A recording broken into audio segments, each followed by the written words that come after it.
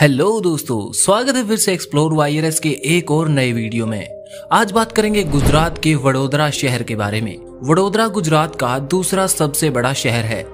ये शहर विश्वामित्री नदी के किनारे गुजरात की राजधानी गांधीनगर से 141 किलोमीटर की दूरी पर मौजूद है। वडोदरा शहर का पुराना नाम बड़ौदा हुआ करता था, जो 1974 में आधिकारिक रूप से वडोदरा में बदल दिया गया। किसी काल में इसे चंदनवती भी कहा जाता था, जिसे चंदन नाम के डोडिया राजपूत के नाम से पहचाना गया। ये भी माना जाता है कि वडोदरा के नाम का अस्तित्व संस्कृत के शब्द वटोदर के बिगड़े रूप से बना हुआ है, जिसका अर्थ बरगद का तना होता है। नवरात्रि, जन्माष्टमी को वडोदरा के लोग धूमधाम से मनाते हैं। वडोदरा को संस्कार नगरी के नाम से भी जाना जाता है। और साथ ही साथ गुजरात के सांस्कृतिक केंद्र के रूप में भी वडोदरा को जाना जाता है। ये शहर गुजरात के पूर्व में समुद्र तल से 128 फीट की ऊंचाई पर 400 वर्ग किलोमीटर के क्षेत्र में फैला हुआ है। 2011 की जनगणना के अनुसार वडोदरा में लगभग 16 लाख सत्तर हज़ार लोग रहते हैं। जिनमें सतासी प्रतिशत लोग पढ़े लिखे हैं। महिला पुरुष अनुपात की बात करें तो इस शहर में 1000 पुरुषों पर 921 महिलाएँ पाई जाती हैं। वडोदरा शहर में पिचासी दशमलव उनतालीस प्रतिशत हिंदू हैं।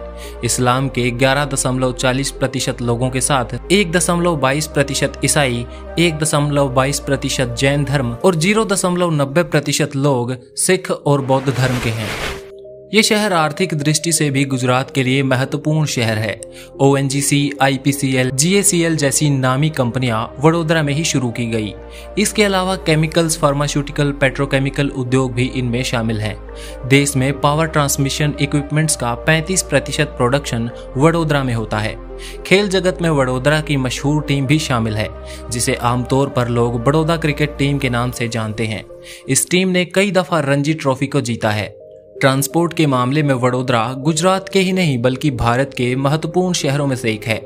ये शहर दिल्ली, मुंबई रेलवे मार्ग के बीच में आता है, जिस वजह से इस शहर में रेलवे की व्यवस्था काफ़ी अच्छी है। वडोदरा में ही भारत का दूसरा ग्रीनेस्ट एयरपोर्ट भी मौजूद है, जहाँ से देश के मुख्य शहरों, महानगरों और टूरिस्टिक शहरों तक सीधी फ्लाइट्स जाती हैं। वडोदरा में भी कई सारे टूरिस्ट अट्रैक्शंस मौजूद हैं, जिनमें पहले नंबर पर सूरसागर झील काफ़ी मशहूर है। वडोदरा शहर में स्थित सूरसागर झील चारों तरफ़ से हरे भरे पेड़ पौधों से घिरा हुआ है, जिसकी वजह से इस झील का नज़ारा और भी खास हो जाता है। सूरसागर झील के मध्य में मौजूद भगवान शिव की 120 फीट की ऊँची मूर्ति इस झील की खूबसूरती में चार चाँद लगा देती है। रात में यह झील काफ़ी सुंदर नज़र आती है। इस झील में बोटिंग वगैरह को भी एंजॉय किया जा सकता है।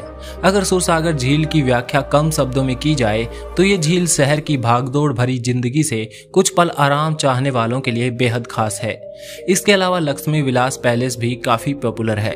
वडोदरा में मौजूद 1890 ईस्वी में निर्मित इस पैलेस को भारत के सबसे फ़ेमस महलों की सूची में शामिल किया गया है।